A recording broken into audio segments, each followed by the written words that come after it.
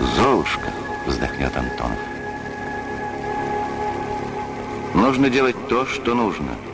И следующий Ан он построит не на 7, а на 100 пассажиров. Ан-10. Первый турбовинтовой пассажирский для линий средней протяженности. А его создатель в новом поиске. Следующий Ан-12 уже на 12 тонн груза. Но Антонов за счет резервов конструкции доведет грузоподъемность до 20 тонн. Эту особенность стиля КБ он сформулирует так. Совершенствование в процессе эксплуатации.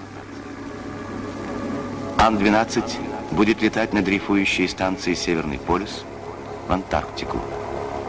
В результате и этот Ан – лауреат. Ленинская премия. И еще одна радость. Долгожданный испытательный перелет СКВ. Почти через всю страну.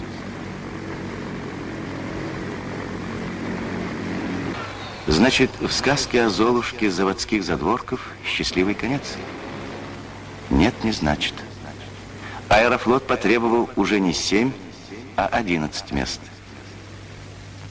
И самолет короткого взлета вновь на чертежной доске а вместо него появится другой пассажирский, Ан-24. Киев, 62 год. Первый регулярный рейс для конструктора всегда праздник. Тот же аэропорт и тоже праздник. Но между съемками 20 лет его жизни. И только те, кто работает рядом, знают, что за каждым таким праздником – Побед намного меньше, чем поражений, а потери неожиданно оборачиваются достижениями. Но так уж устроен этот человек. Достигнув чего-то, он не успокаивается сам и не дает другим. За два десятилетия эксплуатации Ан-24 для своего класса самолетов выдержал самую большую в мире серию – 40 модификаций Ан-24 сошли с кульманов его КБ и освоили те трассы, где другие самолеты просто не летают. Полюс холода Аймекон. Минус 71,2 по Цельсию в тех краях Родины, куда пока есть, как в песне, только самолетом и можно долететь. Как и сюда, пустыня. Плюс 48 но Ан выдерживает. Потому-то и следят теперь в мире за новинками этого КБ. И Аны работают в небе 40 уже стран мира.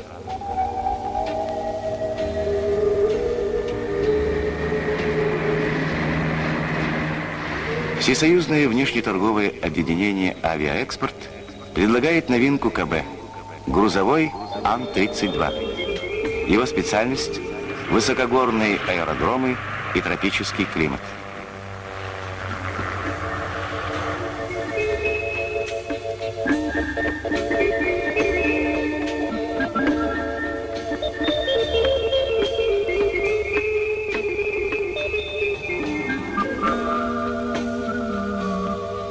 Сейчас вместе с индийскими гостями вы увидите один из самых сложных испытательных тестов.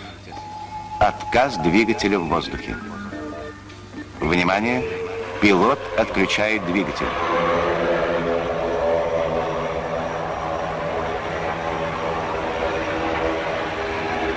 А сесть на одном двигателе под силу далеко не каждому самолету. Аны как бы несут в себе уверенность их создателя. Поразительно точную характеристику Антонову дал один из летчиков. Прост, ясен, корректен, деловит. С ним очень легко общаться. Не чувствуешь его величия. А вот личность, умную, прогрессивную, искреннюю, ощущаешь всем сердцем. Он действительно генеральный конструктор по призванию, а не только по должности. Вероятно, это нелегко быть генеральным. Любой промах, неудачное слово, даже небрежность в одежде. Все будет замечено. Ведь именно фюзеляжи принадлежит не только ему. Это КБ. Сотни и сотни людей. Но, кажется, генеральный конструктор Антонов сказал как-то, коллектив — это я. Это знаменитая фраза, которую не я выдумал. Ну, может быть, я не помню, чтобы я действительно это сказал, но если где-то что-то слышали в таком роде, я могу сказать, что коллектив, конечно, формируется по образу и э, подобию руководителя фирмы, как у нас теперь говорят. Главный конструктор, генеральный конструктор, он служит как бы центром кристаллизации. Вокруг него собираются люди, единомышленники, которым нравится та работа, которую он делает, которые хотят разделить с ним этот труд, который мыслит примерно так же, как и он, а может быть, несколько иначе. Было бы очень хорошо, если, очень плохо, если бы все конструкторы мыслили одинаково. Потому что в спорах рождается истина. И в нашем коллективе это закон. Ну, а власть генерального применять приходилось?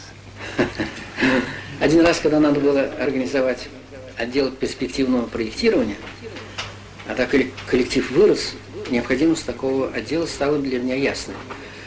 Что кто-то должен заниматься вот рождением самолета. И двое очень уважаемых товарищей, которыми я давно работаю, пришли ко мне и сказали, Олег Константинович, не надо это организовывать. Мы хотим все вместе строить, а вы выделяете самую интересную работу отдельно, и будет заниматься какой-то ограниченный коллектив, а мы вроде как будто отстраняемся от этого дела, от зарождения, идеи зарождения машины. Я их долго убеждал и говорил, что, конечно, нет, потому что все равно можно работать будет сообща, вместе. Если это касается, скажем, гидравлики, он обратится к гидравликам. Если прочность, он к почтистам пойдет, аэродинамик, он пойдет к аэродинамикам. То есть он будет слушать всех и вырабатывать такое общее решение. Они мне долго со мной спорили, и в конце концов не согласилась. Да? С досады схватил чернильницу и запустил. Но только не, не у них, конечно, мимо. Я теннисист, я без промаха работаю. Ну, вот это, пожалуй, единственный случай, когда я немножко вспылил. А вообще, моя работа требует, конечно, громадной сдержанности. Как же подчиненные восприняли небывалый случай употребления власти? Они смущенно удалились, и отдел был организован.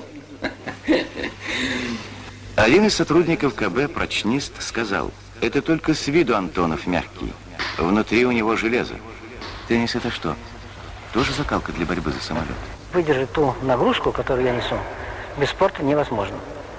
Он дает, он дает тонус, бодрость, способность переносить высокие нагрузки и, конечно, стрессы. В теннис играет не только руками, но играет и головой. Это, конечно, его огромное достоинство. Ну и потом, во время игры бывают на такие неожиданные ситуации, непредвиденные, которые требуют некоторой быстроты соображения. Но я скажу, что и в жизни такие ситуации бывают, когда нужно быстрое соображение и как-то реагировать на очень сложные обстоятельства. По-моему, это тоже достоинство тенниса. Но о стрессах в жизни Антонова мог бы рассказать, пожалуй, каждый его самолет. А особенно этот. Самолет короткого взлета. Малышка выдержала огромный перелет. Владивосток, Москва, Владивосток. Но с очередными требованиями возвращена на заводские задворки. Видно, характер Антонова незримо переходит в его машины – раз десятилетиями она не сдается, упрямо пробивается в небо. Да, каждый новый самолет конструктор долго испытывает на прочность. Но и каждый самолет он тоже испытывает своего конструктора. 30 лет назад, делая на ватмане первый штрих, Антонов увидел вдруг, как красив будет этот полет – да, это он над Кавказским хребтом, наш СКВ, только изрядно повзрослевший. Теперь Ан-28.